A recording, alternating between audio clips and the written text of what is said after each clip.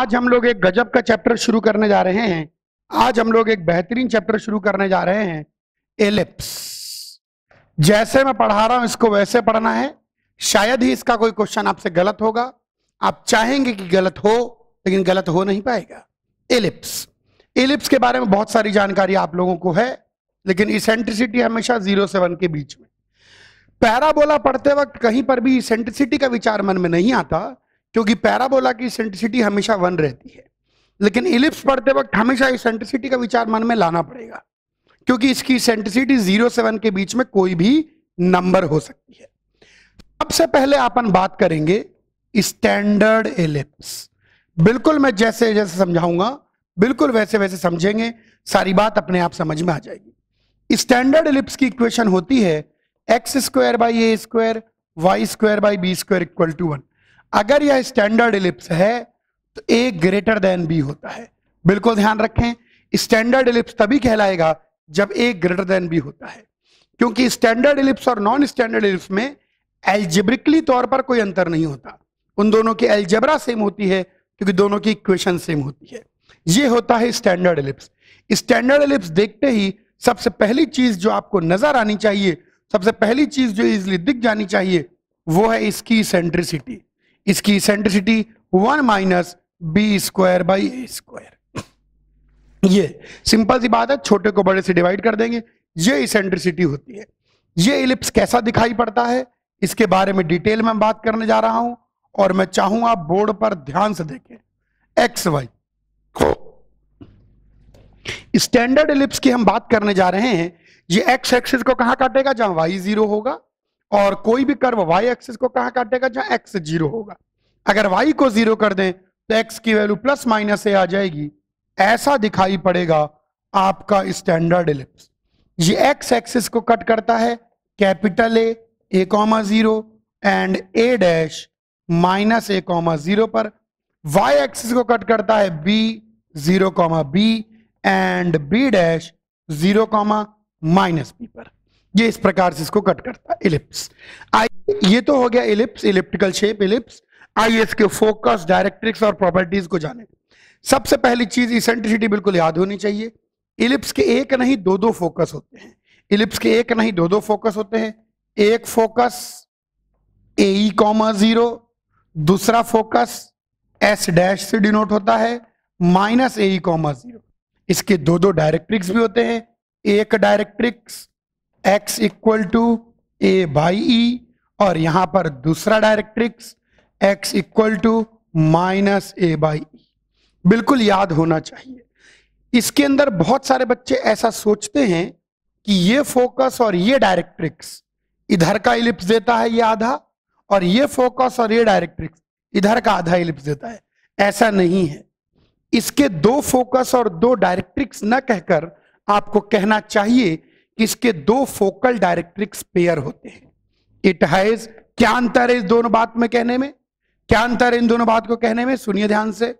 It has two focal directrix pair.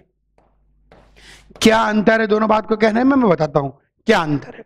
अगर ये focus है तो ये लाइन डायरेक्ट्रिक्स है। ये कुछ भी नहीं है। ध्यान रखना, इसके दो फोकल डायरेक्ट्रिक्स पेयर होते हैं। इसके दो फोकल डायरेक्ट्रिक्स पेयर होते हैं। यानी अगर ये फोकस लेंगे तो यही डायरेक्ट्रिक्स होगी। और हर फोकस और हर डायरेक्ट्रिक्स पूरा पूरा इलिप्स देते हैं। And every pair gives whole ellipse और पूरे पूरे पूरा इलिप्स देते हैं। यानी कहने का मतलब जो फोकल डायरेक्ट्रिक्स प्रॉपर्टी आप लिखते हैं, अगर यहाँ पर एक पॉइंट को थोड़ा दूर सरका लेते हैं। अगर यहाँ पर आ, ये ठीक है। अगर यहाँ पर एक पॉइंट को पी लेते हैं तो पी एस और यहाँ से पी एस डैश और यहाँ से इसकी परपेंडिकुलर डिस्टेंस इस पॉइंट को पी एम और यहाँ से इसकी परपेंडिकुलर डिस्टेंस इस पॉइंट को पी एम डैश। अब मेरी बात सुनेंगे यहाँ पर आप चाहें तो पी एस ये रंग ठीक नहीं है। आप चाहें तो लिखें P S is equal to e times P M या लिख सकते हैं P S dash e times P M dash ध्यान देना, ये एक फोकल डायरेक्ट्रिक्स का पेयर है, और यह फोकल डायरेक्ट्रिक्स पेयर भी पूरा इलिप्स देगा। ये एक फोकल डायरेक्ट्रिक्स पेयर है, और यह फोकल डायरेक्ट्रिक्स पेयर भी पूरा इलिप्स देगा।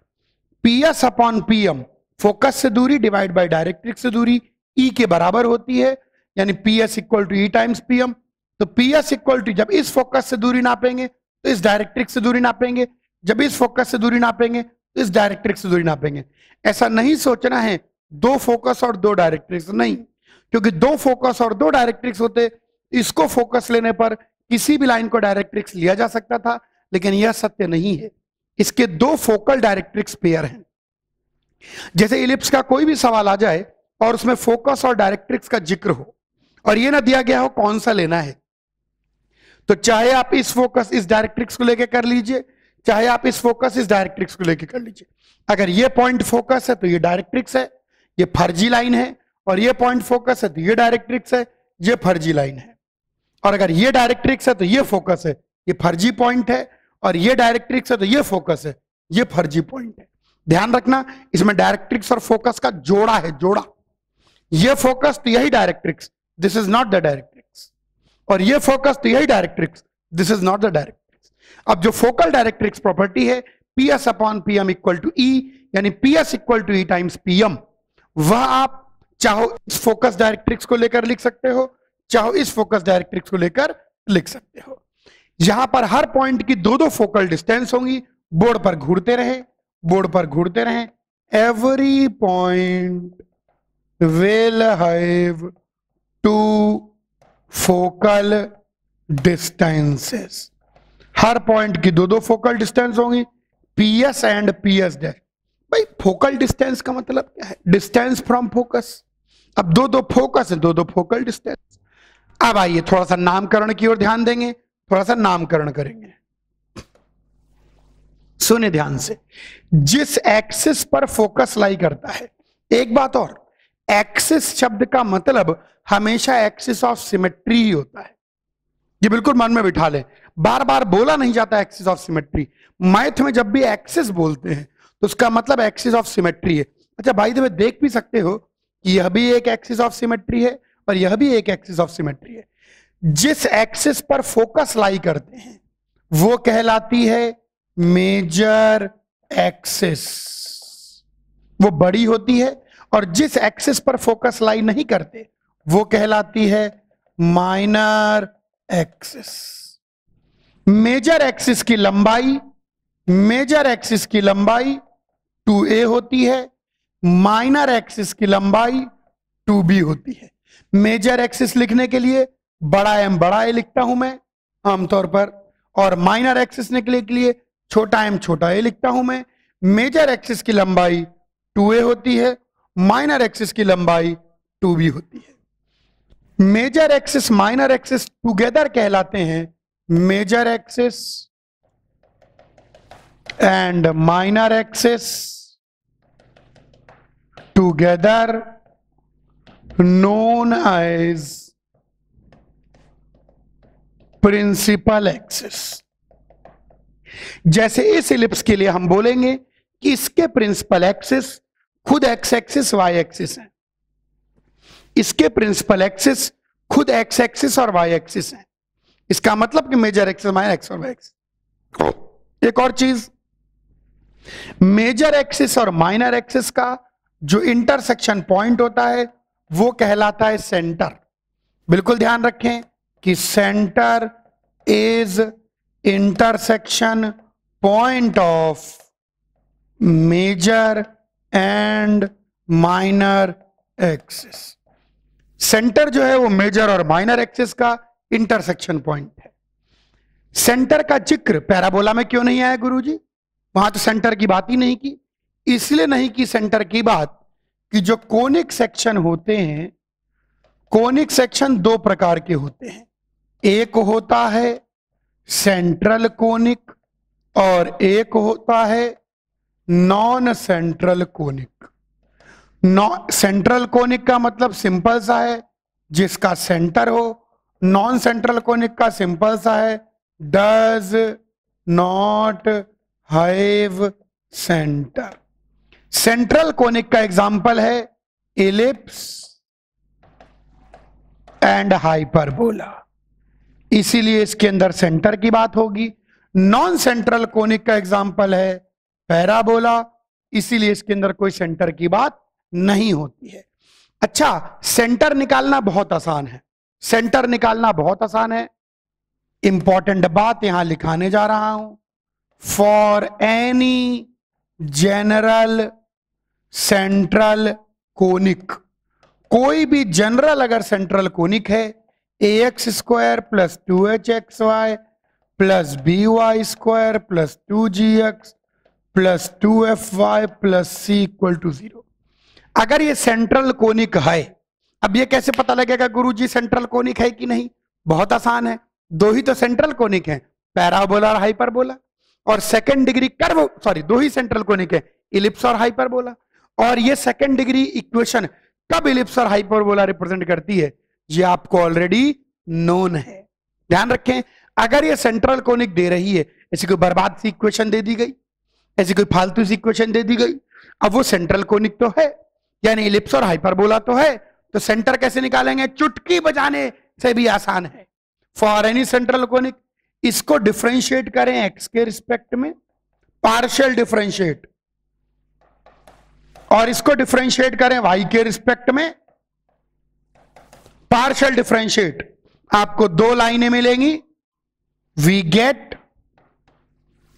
two lines whose intersection point is centre तो अगर ब्रह्मांड का कोई भी सेंट्रल कोनिक गिवन हो, अब एक बात और बता दूँ, पूरे ब्रह्मांड में दो ही सेंट्रल कोनिक हैं। इलिप्स और हाइपरबोला और कोई नहीं है। ये मत सोचना कि इसके अलावा भी होगा बस दो। अगर कोई भी सेंट्रल कोनिक है, कहने का मतलब अगर कोई भी इलिप्स और हाइपरबोला गिवन है तो आप उसका सेंटर चुटकी बजाने से भी पहले निकाल सकते हैं, पहले सेंटर निकालें, फिर चुटकी बजाएँ। अच्छा सेंटर कैसे निकालेंगे?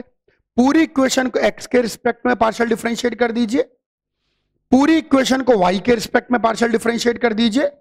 दो लाइंस मिल जाएँगी, उनको सॉल्व कर लीजिए, उनका इंटरसेक्शन पॉइंट सेंटर है।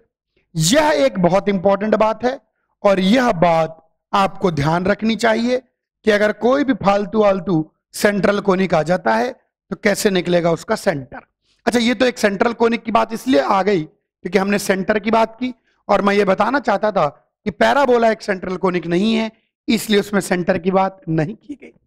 आइए, जहाँ पर अभी अभी बात चली है इलिप्स के बारे में फोकस देख लिया दो दो डायरेक्ट्रिक्स देख ली, मैंने ये भी समझा दिया ये फोकस है तो ये डायरेक्ट्रिक्स है, फर्जी लाइन है। इसके दो फोकस दो डायरेक्ट्रिक्स ऐसा नहीं कहना चाहिए। दो फोकल डायरेक्ट्रिक्स पेयर हैं, ऐसा कहना चाहिए। अच्छा हर पॉइंट के दो दो फोकल डिस्टेंस होंगे पी एस और पी एस डैश अब जरा बोर्ड पर देखेंगे, यही वक्त है देखने सुनने का। मान लीजिए पी पॉइंट अगर एक्स वन वाई वन है तो ये जो दूरी होगी, ये एक्स वन हो जाएगी। और यहाँ से ये दूरी ए बाई ई हो जाएगी। ओहो और यहाँ से ये दूरी भी ए बाई ई हो जाएगी। अब जरा घूरने का वक्त आ गया है। अब जरा घूरने का वक्त आ गया है। आओ मिलजुल के घूरें इसको। अगर मैं पी एस को लिखना चाहूँ तो ई टाइम्स पी एम आ जाएगा। अब पी एम लेंथ को देखें तो ये आ जाएगा a by e minus x one भाई ए बाई ई में से एक्स वन घटा दो पी एम आ गया। ये तो कोई खास बात नहीं बताई गुरु जी आपने। A minus e x one रटा हुआ होना चाहिए। क्यों रटा हुआ होना चाहिए? मैं समझाता हूँ। रुक जाओ। P S dash e times P M dash P M dash की बात करें तो a by e plus x one वाह वाह वाह वाह वाह। A by e plus x one यानी a plus e times x one रटा हुआ होना चाहिए, रटा हुआ होना चाहिए। पॉजिटिव फोकस से दूरी a minus e times abscissa और नेगेटिव फोकस से दूरी a plus e times abscissa रट लो पॉजिटिव फोकस से दूरी a minus e times abscissa और नेगेटिव फोकस से दूरी a plus e times abscissa उल्टा साइन आता है। A minus e times abscissa and a plus e times abscissa उल्टा साइन आता है। पॉजिटिव फोकस से दूरी a minus e times abscissa negative focus से दूरी a plus e times abscissa मतलब याद होना, उत्तरी। आँखों ने आज सुबह सुबह क्या देख लिया? Every point will have two focal distance and P S plus P S dash two a के बराबर। यानी बड़ी माँ के बराबर। हर पॉइंट के दो दो फोकल डिस्टेंसेस हैं और दोनों फोकल डिस्टेंसेस का सम कांस्टेंट होता है मेजर एक्सिस के बराबर। हर पॉइंट के दो फोकल डिस्टेंसेस हैं और दोनों फोकल डिस्टेंस का सम कांस्टेंट होता है, बड़ी माँ के बराबर। एक आखिरी चीज़ छोटी सी और बता दी जाए, यहीं पर लेटेस्ट रेक्टम लेटेस्ट रेक्टम के एंड पॉइंट बता देने चाहिए। ये देखिए, ये है लेटेस्ट रेक्टम।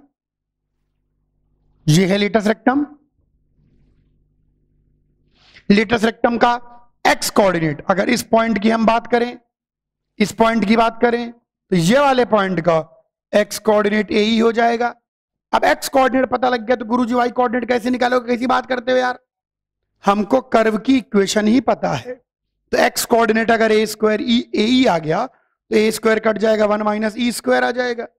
तो Y square B square B square by A square B square by तो एक्स कोऑर्डिनेट ए और Y coordinate B square by A latus rectum का ये वाला end point A comma minus B square by A ये वाला end point भाई साहब minus A comma B square by A ये वाला एंड पॉइंट भाई साहब minus A comma minus B square by length of latus rectum रटी हुई होनी चाहिए। Length of latus rectum is nothing but two B square by A ये हो गई स्टैंडर्ड इलिप्स के बारे में ठीक ठाक जानकारी। मुलाकात करी है अभी। थोड़ा सा जाना पहचाने हैं। कहाँ पर क्या है, क्या चीज़ है, जान गए हैं। अब पहले नॉन स्टैंडर्ड इलिप्स से मुलाकात करेंगे, फिर धीरे धीरे धीरे चैप्टर आगे बढ़ेगा। कॉपी करिए। स्टैंडर्ड इलिप्स देख लिया और स्टैंडर्ड इलिप्स के साथ जुड़ी हुई बहुत सारी बातें भी देख ली। आराम से धीरे धीरे पहले परिचय करेंगे, पहले परिचय करेंगे, फिर इक्वेशन इक्वेशन बनाएँगे। अब सेकेंड इंपॉर्टेंट बात मैं बताने जा रहा हूँ non standard ellipse standard ellipse और नॉन स्टैंडर्ड इलिप्स में एल्जबरा का अंतर नहीं होता, यानी दोनों की इक्वेशन सेम ही दिखाई पड़ती है। फ़र्क इस बात का होता है कि नॉन स्टैंडर्ड एलिप्स में बी ए से बड़ा होता है। देखो स्टैंडर्ड एलिप्स और नॉन स्टैंडर्ड एलिप्स में ऐसा कोई बहुत ज़्यादा अंतर नहीं है। स्टैंडर्ड एलिप्स और नॉन स्टैंडर्ड एलिप्स में मेजर अंतर है कि ए बी से बड़ा है कि बी ए से बड़ा है। इस अंतर के कारण इसेंट्रिसिटी का फॉर्मूला सबसे पहले अंतर में आता है। सबसे पहले जो चीज़ अंतर में आएगी, वो आएगी इसेंट्रिसिटी का फॉर्मूला ध्यान देखें इसेंट्रिसिटी का फॉर्मूला होता है one minus A square by B square मैंने तो सिंपल सा रटा हुआ है, वन माइनस छोटा डिवाइडेड बाई बड़ा। ऑब्वियस सी बात है कॉमन सेंस की बात है, क्योंकि बड़े को अगर छोटे से डिवाइड कर दोगे तो ये वन से बड़ा हो जाएगा और इसेंट्रिसिटी नेगेटिव हो जाएगी। मतलब इसेंट्रिसिटी इमेजिनरी हो जाएगी इनफैक्ट रूट के अंदर नेगेटिव आ जाएगा। तो ये हो गया इसेंट्रिसिटी अब ये कैसा दिखाई पड़ता है? ये ऐसा दिखाई पड़ता है, ये वर्टिकल एलिप्स जैसा दिखाई पड़ता है। चूँकि अपन ऑलरेडी एलिप्स को बहुत अच्छे से देख चुके हैं, इसमें उतना टाइम नहीं लगता है। ये कुछ ऐसा दिखाई पड़ेगा। वर्टिकल एलिप्स यहाँ पर आइए पॉइंट्स को मार्क करें। अभी भी A A comma zero A dash minus A comma zero B zero comma B B dash zero comma minus B ये लीजिए। यहाँ पर फोकस बड़ी एक्सेस पर हमेशा फोकस होता है। तो focus zero comma B E और ये वाला फोकस एस डैश ये वाला focus S dash zero comma minus B E यहाँ पर directrix y equal to B by E यहाँ पर directrix y equal to minus B by E आइए, अब यहाँ नामकरण करें हल्का सा। यहाँ पर ये होगी आपकी मेजर एक्सिस मेजर एक्सिस जिस पर फोकस लाई करते हैं या यूँ कह लीजिए जो बड़ी होती है, वो मेजर एक्सिस यहाँ पर मेजर एक्सिस की लेंथ कितनी? टू बी ये होती है आपकी माइनर एक्सिस यहाँ पर माइनर एक्सिस की लेंथ कितनी? टू ए ये हो गया सेंटर सेंटर पहले ही समझा दिया। Zero comma zero. Major axis और माइनर एक्सिस का इंटरसेक्शन पॉइंट सेंटर यहाँ पर भी हर पॉइंट के दो दो फोकल डिस्टेंस होंगे। और यहाँ पर भी P S plus P S dash two B हमेशा मेजर एक्सिस के बराबर। तो यहाँ मेजर एक्सिस टू बी है, चाहे स्टैंडर्ड इलिप्स हो, चाहे नॉन स्टैंडर्ड इलिप्स हो। दोनों ही इलिप्सों में किसी भी पॉइंट के दो दो फोकल डिस्टेंस होंगे और दोनों फोकल डिस्टेंस का सम हमेशा मेजर एक्सिस के बराबर होगा। हमेशा किसके बराबर? मेजर एक्सिस के बराबर। यहाँ पर आइए लेटेस्ट रेक्टम के एंड पॉइंट मार्क करें। बड़े आराम से आप लेटेस्ट रेक्टम के एंड पॉइंट निकाल सकते हैं। यहाँ पर भी लेटेस्ट रेक्टम के एंड पॉइंट आप बड़े आराम से निकाल सकते हैं। ये कोऑर्डिनेट आ जाएगा A square by B comma B E ये वाला पॉइंट आ जाएगा minus A square by B comma B E यहाँ पर ये वाला पॉइंट आ जाएगा minus A square B comma minus B E और ये वाला पॉइंट आपका निकल के आ जाएगा minus A square by B नहीं plus A square by B comma minus B E यहाँ पर अगर आप लेंथ ऑफ़ लेटस रेक्टम की बात करेंगे, जो लेंथ ऑफ़ लेटस रेक्टम है, वो निकल के आएगी आपके पास two A square by B ये लीजिए, हर पॉइंट के दो फोकल डिस्टेंसेस यहाँ पर भी बोलने की ज़रूरत नहीं, फिर भी बोल देता हूँ। ये फोकस है तो ये डायरेक्ट्रिक्स है, और ये फोकस है तो ये डायरेक्ट्रिक्स है। ये डायरेक्ट्रिक्स है तो ये फोकस है, और ये डायरेक्ट्रिक्स है तो ये फोकस है। यहाँ पर भी दो फोकल डायरेक्ट्रिक्स पेयर बनते हैं। यहाँ पर भी मेजर एक्सिस, माइनर एक्सिस, यहाँ पर भी। Major axis and minor axis together, सब नामकरण सेम ही है। Together called principal axis. यहाँ पर भी major axis, minor axis together कहलाता है, प्रिंसिपल एक्सिस। ये हो गई सारी बातें नॉन स्टैंडर्ड लिप्स के बारे में। कॉपी करिए। तो भाई इलिप्स के अंदर दो फोकस दो डायरेक्ट्रिक्स और एक और नया शब्द आया सेंटर चूँकि एक और नया शब्द आया सेंटर तो थोड़ा सा हम टाइम सेंटर के साथ बिताएँगे. अंडरस्टैंडिंग सेंटर आइए सेंटर को थोड़ा समझें. सेंटर को दो तीन तरीके से डिफाइन किया जा सकता है, लेकिन सेंटर की एक और बेहतरीन डेफिनेशन हम लोग ध्यान रखेंगे. ये देखिए, ये मेजर एक्स सेंटर को हम लोग डिफाइन कर सकते हैं सेंटर की एक डेफिनेशन तो ये है, सेंटर की एक डेफिनेशन तो ये है कि intersection, point of major and minor axis. एक डेफिनेशन तो सेंटर की ये है। बाय द वे, सेंटर की एक ज्योमेट्रिकल डेफिनेशन भी है। सेंटर की क्या ज्योमेट्रिकल डेफिनेशन है?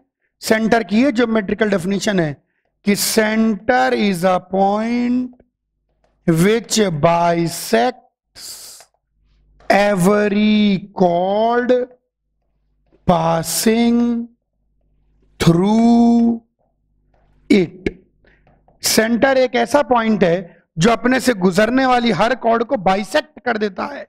अपने से गुजरने वाली हर कॉर्ड का मिड पॉइंट हो जाता है।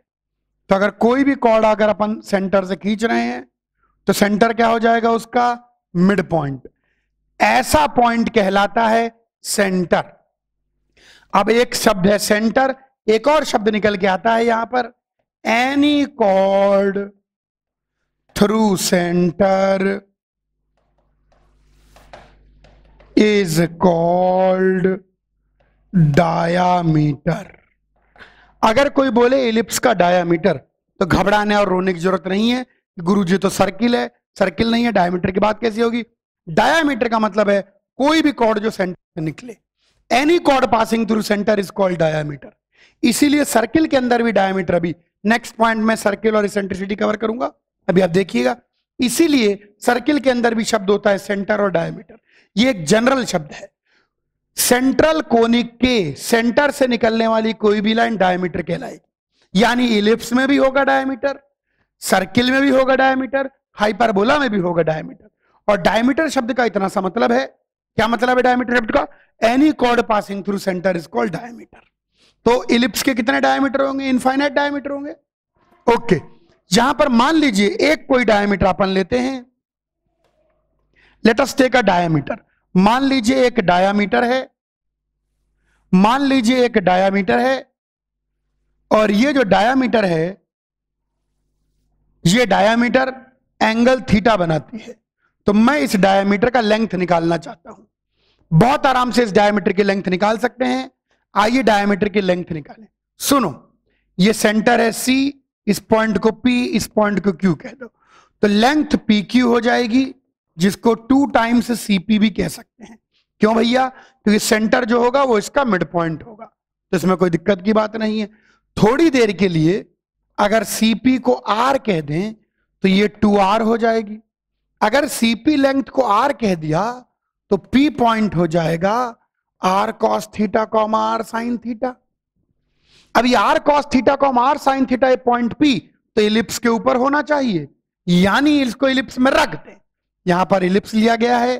X square by A square Y square by B square equal to one तो आर पॉइंट अगर इलिप्स के ऊपर रख दीजिए R square cos square theta by A square plus R square sine square theta by B square equal to one. तो यहाँ से one by are square की वैल्यू आ जाएगी। B square cos square theta, A square sine square theta upon A square into B square. तो are की value आ गई A B upon root of A square sine square theta, B square cos square theta. तो ये लीजिए length two A B upon root of A square sine square theta B square cos square theta तो एक तो centre समझा दिया। Centre की ये ज्योमेट्रिकल डेफिनेशन है। सेंटर एक ऐसा पॉइंट है जो कि अपने से गुजरने वाली हर कॉर्ड को बाइसेक्ट कर देता है। अपने से गुजरने वाली हर कॉर्ड का मिड पॉइंट बन जाता है। तो कोई भी ऐसा पॉइंट जिसके पास ये प्रॉपर्टी होगी, वो कहलाएगा सेंटर और सेंटर से निकलने वाली कोई भी कॉर्ड कहलाती है डायामीटर तो अगर कोई आपसे बोले इलिप्स में एक डायमीटर है तो कुछ नहीं यार ज़ीरो कॉमा ज़ीरो से निकलने वाली एक लाइन है। और अगर वो थीटा एंगल बनाती है तो उसकी लेंथ याद होनी चाहिए। Two A B upon root of A square sine square theta plus B square cos square theta copy कर लीजिए। सेंटर को भी समझ लिया और एक और नया शब्द डायमीटर भी जान लिया। आइए चौथा पॉइंट देखें। सर्किल इलिप्स एंड इसेंट्रिसिटी थोड़ा सा सर्किल इलिप्स और इसेंट्रिसिटी इन तीनों को कवर करने वाला एक पॉइंट बताने जा रहा हूँ। ध्यान देंगे? अच्छा एक बात और। कहीं पर अगर केवल शब्द इलिप्स लिखा है और कुछ नहीं लिखा है तो स्टैंडर्ड इलिप्स यानी ए ग्रेटर देन बी इसीलिए उसको स्टैंडर्ड इलिप्स कहते हैं। यानी ये स्टैंडर्ड इलिप्स है।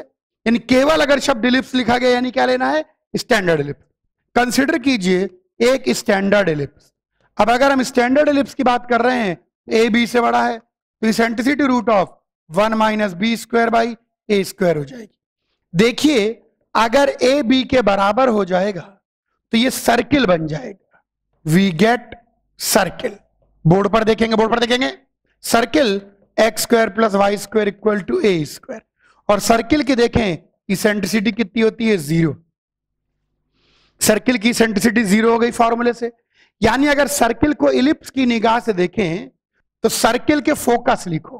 पहला फोकस ए कॉमा ज़ीरो यानी ज़ीरो कॉमा ज़ीरो दूसरा focus minus A comma zero यानी ज़ीरो कॉमा ज़ीरो यानी इसके जो दोनों फोकस हैं, वो कोइंसाइड कर गए हैं कहाँ पर? सेंटर पे। दोनों डायरेक्ट्रिक्स देखो डायरेक्ट्रिक्स यानी इसका मतलब हो गया both focus have coincided at center. अब जरा डायरेक्ट्रिक्स को देखो।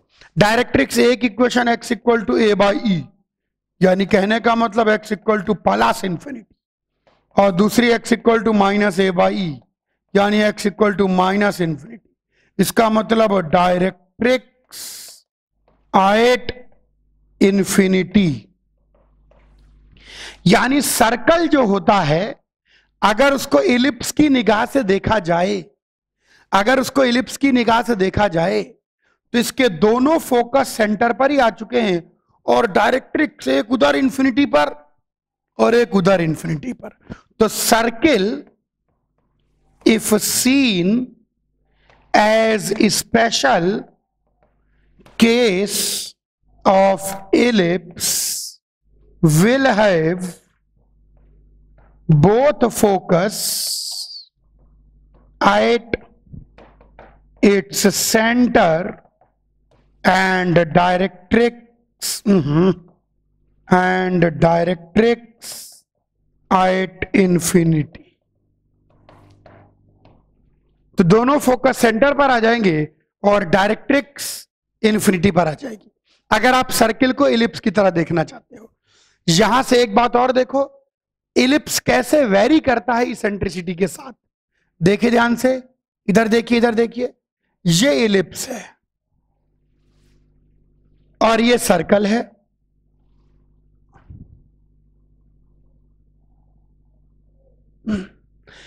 अंदर की ओर जाने पर इसेंट्रिसिटी बढ़ती है। देखो ध्यान से इसकी इसेंट्रिसिटी कितनी है? ज़ीरो सर्कल की सेंट्रिसिटी कितनी है? ज़ीरो सर्कल की सेंट्रिसिटी बिल्कुल ज़ीरो है। तो इसेंट्रिसिटी कम होगी तो बल्जीनेस ज़्यादा होगी। ज़्यादा गोल होगा, गोलाई की तरफ़ जाएगा। जैसे मेरी कमर की सेंट्रिसिटी ज़ीरो को टेंड करने वाली है बस। थोड़ी सी ही बच्ची है। और जितना पतला होगा, जितना स्लिम होगा इसेंट्रिसिटी उतनी ज़्यादा होगी वन की तरफ़ होगी। अगर eccentricity tending to zero that is towards circle eccentricity tending to one that is towards line eccentricity कम, यहाँ बढ़ रही है धीरे धीरे। इसेंट्रिसिटी ज़ीरो मतलब सर्कल थोड़ी सी कम और कम। जब इसेंट्रिसिटी वन के बहुत करीब होगी, जब इसेंट्रिसिटी वन के बहुत करीब होगी तो बिल्कुल ऐसे, बिल्कुल लाइन की तरह आ जाएगा इलिप्स ऐसे। ऐसा दिखाई पड़ेगा इलिप्स। इसकी इसेंट्रिसिटी टेंडिंग टू वन समझ लीजिए। ऐसे। तो ये इसेंट्रिसिटी और इलिप्स में रिलेशन होता है।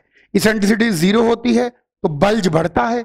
इसेंट्रिसिटी वन के करीब होती है तो बल्ज कम हो जाता है। पतला पान जाता है उसके अंदर। ये हो गया, मैंने आपको समझाया थोड़ा सा सर्किल इलिप्स और इसेंट्रिसिटी सर्किल को इलिप्स की तरह देखें तो कहाँ है उसके फोकस कहाँ है उसके डायरेक्ट्रिक्स और इलिप्स का इसेंट्रिसिटी के साथ क्या रिलेशन होता है? किस इलिप्स की सेंट्रिसिटी ज़्यादा? किस इलिप्स की सेंट्रिसिटी कम? इसेंट्रिसिटी ज़ीरो मतलब गोल। देखो ज़ीरो खुद क्या होता है? गोल। ज़ीरो खुद क्या होता है? गोल। तो इसेंट्रिसिटी ज़ीरो यानी गोल और इसेंट्रिसिटी वन वन खुद क्या होती है? डंडी। वन क्या होती है? डंडी। तो इसेंट्रिसिटी ज़ीरो तो गोलाई की तरफ़ इसेंट्रिसिटी वन डंडी की तरफ़। तो this is the variation of the shape of ellipse with eccentricity copy करें। इलिप्स की बेसिक बेसिक बातें अभी चल रही हैं। अब इलिप्स के साथ जुड़ी हुई एक और बहुत इंपॉर्टेंट बात। स्टैंडर्ड इलिप्स देख लिया अपन ने। नॉन स्टैंडर्ड इलिप्स देख लिया अपन ने। स्टैंडर्ड और नॉन स्टैंडर्ड इलिप्स देख लेने के बाद थोड़ा सेंटर के बारे में जान लिया डायमीटर के बारे में जान लिया लेंथ ऑफ़ डायमीटर जान ली। उसके बाद अपन ने थोड़ा सर्किल को देख लिया। कि अगर सर्किल को इलिप्स की तरह सोचा जाए तो कहाँ है फोकस? क्या है सेंट्रिसिटी कहाँ है डायरेक्ट्रिक्स? वो सब भी देख लिया। और साथ में ये भी देख लिया कि सेंट्रिसिटी का इस इलिप्स के शेप के साथ क्या रिश्ता है? ई e ज़ीरो यानी ज़ीरो ई वन यानी लाइन की तरफ़ अब हम बात करेंगे कुछ विशेष चीज़ों की। Auxiliary circle, eccentric angle corresponding points बिल्कुल ध्यान देंगे। Auxiliary circle eccentric angle corresponding points अब हम इनके बारे में बात करने जा रहे हैं। बिल्कुल ध्यान देखेंगे ऑक्सलरी सर्कल की डेफिनेशन बिल्कुल सिंपल सी है। Circle drawn on major axis as diameter is called auxiliary circle major axis को डायमीटर मान के बनाया गया सर्किल कहलाता है ऑक्सलरी सर्कल आइए स्टैंडर्ड एलिप्स के बारे में बात करें। बिल्कुल ध्यान देखेंगे, ये हमारा स्टैंडर्ड एलिप्स है और इसकी मेजर एक्सिस को डायामीटर मान के बनाया गया सर्किल इसकी मेजर एक्सिस को डायामीटर मान के बनाया गया सर्किल ऑक्सलरी सर्किल कहलाएगा। इसका मतलब क्लियर हो गया कि ऑक्सलरी सर्किल की equation X square plus Y square equal to A square होगी ऑक्सलरी सर्किल ऑक्सलरी शब्द का मतलब होता है helping auxiliary unit helping unit auxiliary शब्द का मतलब ही हेल्पिंग तो ये रियल में बहुत हेल्प करने वाला है। भयंकर हेल्प तो ऑक्सलरी सर्किल की परिभाषा बड़ी सिंपल है। मेजर एक्सिस को डायमीटर मान के बनाया गया सर्किल ऑक्सलरी सर्किल कहलाएगा। तो हमने ऑक्सलरी सर्किल समझ लिया। अगला शब्द है इसेंट्रिक एंगल इसेंट्रिक एंगल बहुत ज़्यादा आसान है और यहीं पर पैरामेट्रिक इक्वेशन की बात भी कर लेंगे। कहे उसको छोड़ेंगे। पैरामेट्रिक इक्वेशन बोर्ड पर ध्यान देंगे। दूसरा शब्द है इसेंट्रिक एंगल बहुत आसान सा शब्द है। ऑक्सलरी सर्किल के किसी भी पॉइंट को ऑक्सलरी सर्किल के ऑक्सलरी सर्किल के किसी भी पॉइंट को अगर ओरिजिन से सेंटर से जोड़ दो तो पॉजिटिव एक्स एक्सिस के साथ बनने वाला एंगल इसेंट्रिक एंगल कहलाता है। Join any point on auxiliary circle with centre the angle with positive x-axis is called eccentric eccentric angle ध्यान रखना इसेंट्रिक एंगल को डिफाइन किया जाता है ऑक्सलरी सर्किल की मदद से। वैसे भी ऑक्सलरी मतलब ही है मददगार। तो अपन इसेंट्रिक एंगल को डिफाइन ही करेंगे ऑक्सलरी सर्किल की मदद से। इस बात को बिल्कुल ध्यान रखें। तो ऑक्सलरी सर्किल की मदद से डिफाइन किया जाता है इसेंट्रिक एंगल। और डिफाइन करना बहुत ज़्यादा आसान है, डिफाइन करना बहुत ज़्यादा आसान है, डिफाइन करना थोड़ा बहुत ज़्यादा आसान है। ऑक्सलरी सर्किल के किसी भी पॉइंट को आप सेंटर से जोड़ दीजिए, वह जो एंगल बनाती है पॉजिटिव एक्स एक्सिस के साथ, वह जो एंगल बनाती है पॉजिटिव एक्स एक्सिस के साथ, वह कहलाता है इसेंट्रिक एंगल। अगला शब्द आता है कॉरस्पॉन्डिंग पॉइंट लैग कर रहा है वीडियो? नेट नेट बंद कर दो चार्ज लगा दो। हाँ क्लियर आएगा आएगा। एक मिनट रुके। अभी अभी सही आ रहा है बच्चों? ब्लर आ रहा है। एक मिनट रुक जाए, एक मिनट रुक जाए, एक मिनट रुक जाए। ध्यान से। ये हो गया eccentric angle eccentric angle define करना बहुत ज़्यादा इजी है। ऑक्सलरी सर्किल के किसी भी पॉइंट को आप सेंटर से जोड़ दीजिए। वह जो एंगल बनाएगा, वह कहलाएगा इसेंट्रिक एंगल अगला इंपॉर्टेंट शब्द है कॉरस्पॉन्डिंग पॉइंट प्लीज़ ध्यान से देखेंगे और सुनेंगे। दो पॉइंट कॉरस्पॉन्डिंग पॉइंट कहलाते हैं। दो पॉइंट कॉरस्पॉन्डिंग पॉइंट कहलाते हैं। अगर एक इलिप्स पर हो और एक ऑक्सलरी सर्किल पर हो। ध्यान सुनना। एक इलिप्स पर हो और एक ऑक्सलरी सर्किल पर हो। ध्यान सुनिए पहले, सुन लीजिए, फिर मैं बताता हूँ। सुन लीजिए पहले, सुन लीजिए पहले। बॉन्डिंग पॉइंट सुन लीजिए two point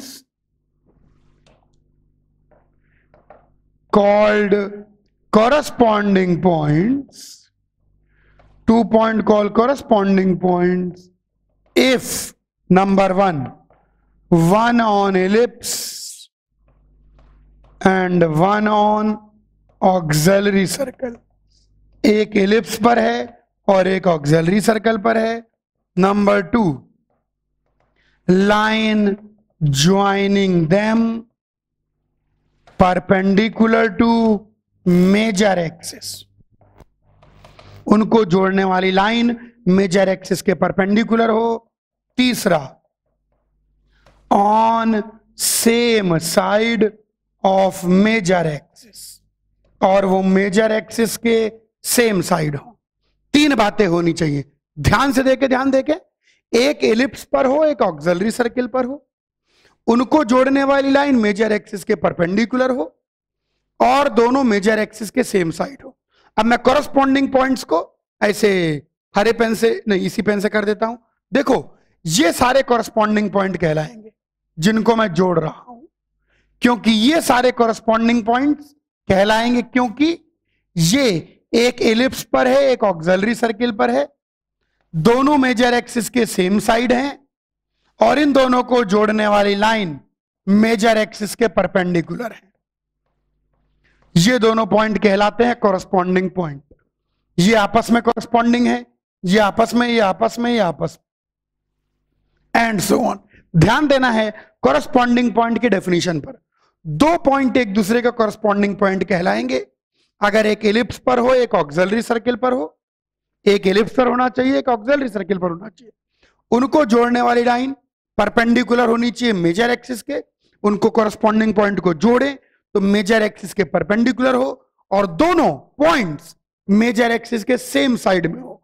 यानी या तो दोनों पॉइंट मेजर एक्सिस के ऊपर ऊपर, या दोनों पॉइंट मेजर एक्सिस के नीचे नीचे ये होती है कॉरस्पॉन्डिंग पॉइंट्स की डेफिनेशन एक आखिरी चीज़ यहीं पर बच गई, parametric equation.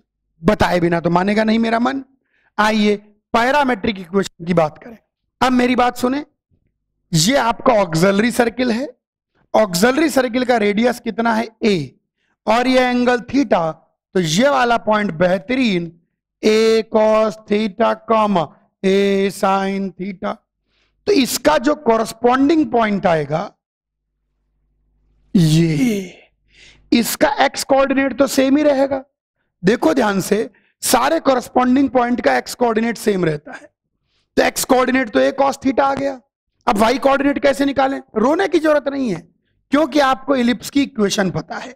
X square by a square y square by b square equal to one x को ए कॉस थीटा रख दें तो वाई आ जाएगा बी साइन थीटा यही है पैरामेट्रिक इक्वेशन ऑफ़ इलिप्स कहने का मतलब any point on ellipse can be taken as a cos theta comma b sin theta यहाँ पर मैं एक बात बताना चाहूँगा।